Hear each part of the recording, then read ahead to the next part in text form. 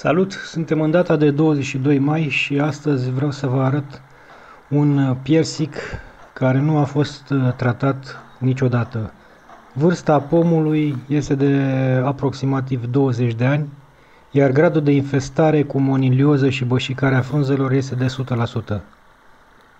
Bolile l-au copleșit, uh, din păcate proprietarul a ales să nu-l trateze niciodată.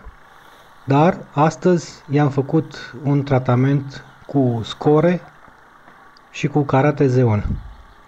Sunt convins că în 2-3 săptămâni vor uh, crește alți lăstari și pomul își va reveni într-o măsură bună.